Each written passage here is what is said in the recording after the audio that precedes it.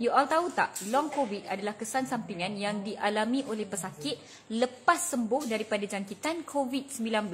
Uh, tak banyak ilmu dan pengetahuan berkenaan dengan long COVID buat masa sekarang. Jadi, hari ini saya bawakan seorang pakar, Dr. Amir Ramli, 18 Ogos 2021, live di Facebook Celoteh Dr. Mala pukul 9.30 malam kami akan bincangkan segala-galanya tentang long covid, nak buat apa, rawatan apa, investigate apa, blood test apa sebagainya. Dan kita cuba sedikit sebanyak untuk sentuh tentang rawatan pesakit COVID juga.